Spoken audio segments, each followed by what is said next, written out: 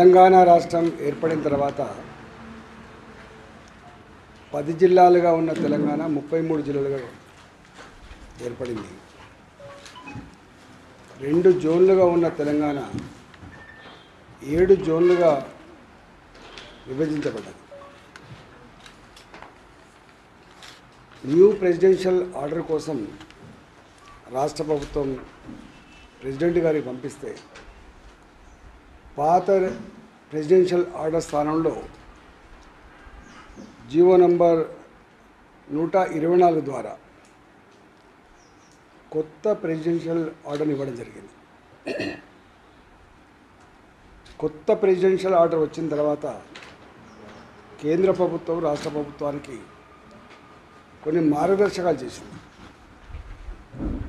స్థానికత ఈ ప్రెసిడెన్షియల్ ఆర్డర్లో main issue స్థానికత. ఈ కొత్తగా ఏర్పడ్డ జిల్లాల ప్రకారంగా ఉద్యోగులు కానీ టీచర్లు కానీ స్థానికత ఫిక్స్ చేసుకొని మూడు సంవత్సరాల కాలంలో మూడు సంవత్సరాల కాలంలో పూర్తి ఉద్యోగుల విభజన జరగాలని చెప్పి ఆదేశాలు ఇచ్చింది. కానీ ముఖ్యమంత్రి గారు ఈ మూడు సంవత్సరాల కాలంలో ఫామ్ హౌస్కే పరిమితమై ప్రగతి భవన్కే పరిమితమై ఉద్యోగ సంఘాల నాయకులతో కానీ టీచర్ల సంఘాల నాయకులతో కానీ చర్చించకుండా ఈ ఇచ్చిన మూడు సంవత్సరాల కాలంలో ఉద్యోగుల విభజన ఉద్యోగుల ట్రాన్స్ఫర్ చేయకుండా నిమ్మకు నీరెత్తినట్టుగా ఉండి సడన్గా ఇవాళ మూడు వందల పదిహేడు జీవో తెచ్చి ఉద్యోగుల జీవితాల్లో కులుకులే లేకుండా చేసింది. ఎంత ఆందోళన పడుతున్నారంటే ఇళ్ళల్లో మనిషి చనిపోతే ఎట్లయితే విషాదమైనటువంటి వాతావరణం ఉంటుందో అలాంటి విషాదమైన వాతావరణం ఇవాళ ఆవరించింది. అనేక రకాల చిక్కుముడులు అపోహలు అనుమానాలకు తావిచ్చింది ఈ ప్రభుత్వం. ఇట్లాంటి ఇంత గంభీరమైనటువంటి ఈ సమస్యల సందర్భంలో ఉద్యోగ సంఘాల నాయకులతో కానీ టీచర్ల సంఘాల నాయకులతో కానీ కూర్చొని మాట్లాడి విధి విధానాలు ఖరారు చేయాలి. కానీ అలాంటిది ఏమి జరగలేదు. నేను ఒక రాజును నాకే అన్నీ తెలుసు. ఎవరితో కన్సల్ట్ చేయాల్సక్కర్లేదు అభిప్రాయాలు స్వీకరించాల్సిన అక్కర్లేదు నేను చెప్పిందే చేయాలనేటువంటి ఒక హుకుం జారీ చేసిండు ముఖ్యమంత్రి గారు. నేను ఒకటే అడుగుతున్న ముఖ్యమంత్రి గారిని మరి మూడు సంవత్సరాల కాలంలో కుంభకర్ణుడు నిద్రపోయి హడావిడిగా ఎవరితో కన్సల్ట్ చేయకుండా ఎందుకు ఇచ్చినట్టు? ఎందుకు బేజాలకు పోతున్నట్టు? ఇవాళ టీచర్లు కానీ ఉద్యోగులు కానీ తెలంగాణ ఉద్యమంలో సకల జనుల సమ్మెను చేసి తెలంగాణ రాష్ట్ర ఏర్పాటు కారణమైనటువంటి ఆ ఉద్యోగుల ఆ టీచర్ల జీవితాలతో ఎందుకు ఆటలాడుకుంటున్నావు?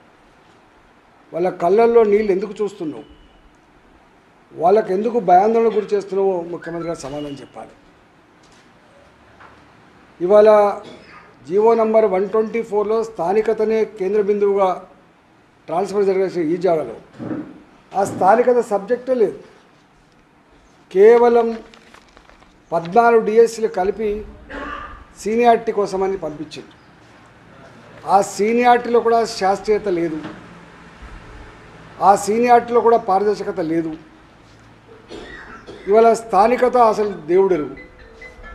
వాళ్ళు ఒకటే కోరుతున్నారు సీనియారిటీని ఫిక్స్ చేసేటప్పుడు సైంటిఫిక్గా ఫిక్స్ చేయాలని ఎక్కడ కూడా ఇబ్బందులు అక్రమాలు జరగకుండా చూడాలని స్థానికత కూడా యాడ్ చేయాలని చెప్పి చెప్తున్నారు. నేను ముఖ్యమంత్రి గారిని కోరుతా ఉన్నా ఇవాళ వాళ్ళు చాలా ఆందోళన పడుతూ ఉన్నారు కాబట్టి. ఇప్పటికే బరి తెగించి కలెక్టరేట్ల ముందట ఆందోళన చేస్తూ ఉన్నారు కాబట్టి. వాళ్ళ డిమాండ్ని పరిలోకి తీసుకొని పునరాలోచించుకొని దాని ప్రకారం నడవాలని చెప్పి నేను సూచన చేస్తూ ఉన్నా. దీంట్లో ముఖ్యమంత్రి గారు స్వయంగా అప్పుడప్పుడు చెప్తూ ఉంటాడు. కుటుంబంలో ప్రశాంతత ఉంటేనే వాళ్ళు ఎక్కువ పని డెలివరీ చేయగలిగేటువంటి శక్తి వస్తుందని చెప్పి చెప్తాడు. భార్య కాడ భర్త కాడ కన్న తల్లిదండ్రులు కాడ చదువుకునే పిల్లలు కాడ ఈ విధంగా ఉంటే మనశ్శాంతి ఉంటుందా?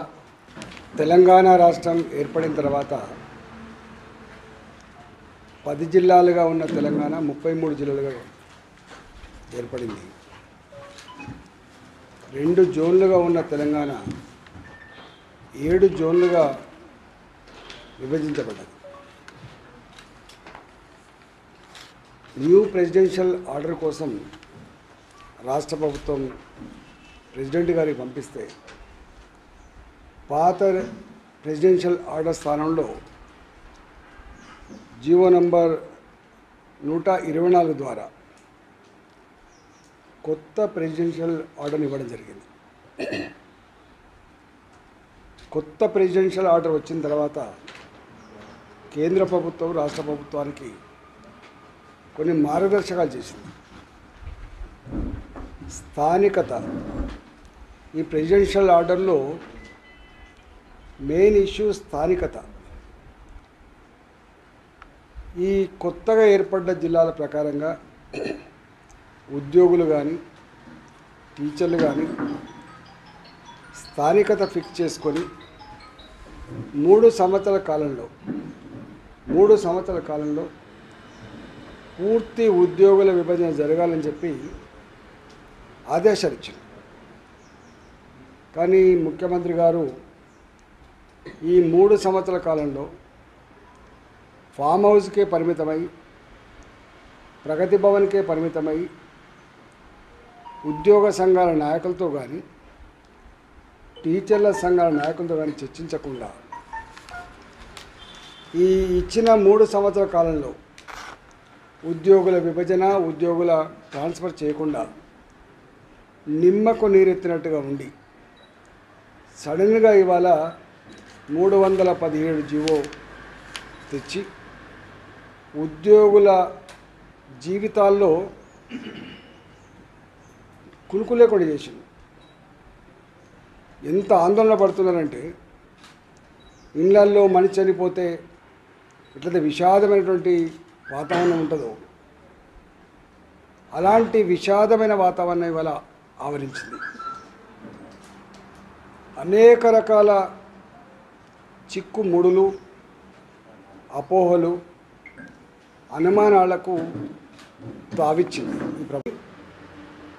ఇట్లాంటి ఇంత గంభీరమైనటువంటి ఈ సమస్యల సందర్భంలో ఉద్యోగ సంఘాల నాయకులతో కానీ టీచర్ల సంఘాల నాయకులతో కానీ కూర్చొని మాట్లాడి విధి విధానాలు ఖరారు చేయాలి.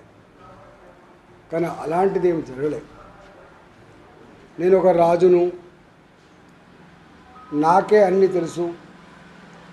ఎవరితో కన్సల్ట్ చేయాల్సిన అక్కర్లేదు అభిప్రాయాలు స్వీకరించాల్సిన అక్కర్లేదు నేను చెప్పిందే చేయాలనేటువంటి ఒక హుకుం జారీ చేసిండు ముఖ్యమంత్రి గారు.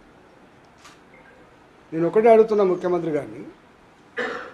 మరి మూడు సంవత్సరాల కాలంలో కుంభకర్ణుడు నిద్రపోయి హడావిడిగా ఎవరితో కన్సల్ట్ చేయకుండా ఎందుకు ఇచ్చినట్టు?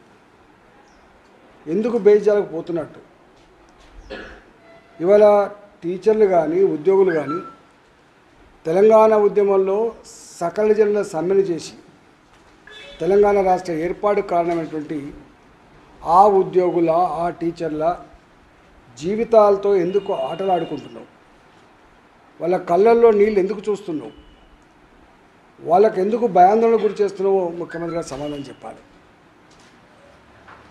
ఇవాళ జీవో నంబర్ వన్ ట్వంటీ ఫోర్లో స్థానికతనే కేంద్ర బిందువుగా ట్రాన్స్ఫర్ జరగాల్సిన ఈ జాగాలో. ఆ స్థానికత సబ్జెక్టే లేదు. కేవలం పద్నాలుగు డిఎస్సీలు కలిపి సీనియారిటీ కోసమని పంపించింది. ఆ సీనియారిటీలో కూడా శాస్త్రీయత లేదు. ఆ సీనియారిటీలో కూడా పారదర్శకత లేదు. ఇవాళ స్థానికత అసలు దేవుడెరుగు.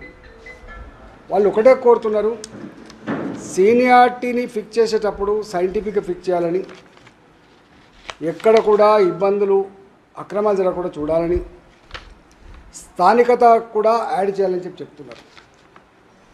నేను ముఖ్యమంత్రి గారిని కోరుతా ఉన్నా ఇవాళ వాళ్ళు చాలా ఆందోళన పడుతూ ఉన్నారు కాబట్టి. ఇప్పటికే బ తెగించి కలెక్టరేట్ల ముందట ఆందోళన చేస్తూ ఉన్నారు కాబట్టి. వాళ్ళ డిమాండ్ని పరిలోకి తీసుకొని పునరాలోచించుకొని దాని ప్రకారం నడవాలని చెప్పి నేను సూచన చేస్తూ ఉన్నా. దీంట్లో ముఖ్యమంత్రి గారు స్వయంగా అప్పుడప్పుడు చెప్తూ ఉంటాడు కుటుంబంలో ప్రశాంతత ఉంటేనే వాళ్ళు ఎక్కువ పని డెలివరీ చేయగలిగేటువంటి శక్తి వస్తుందని చెప్పి చెప్తాడు భార్య కాడ భర్త కాడ కన్న తల్లిదండ్రుల కాడ చదువుకునే పిల్లలు కాడ ఈ విధంగా ఉంటే మనశ్శాంతి ఉంటుందా?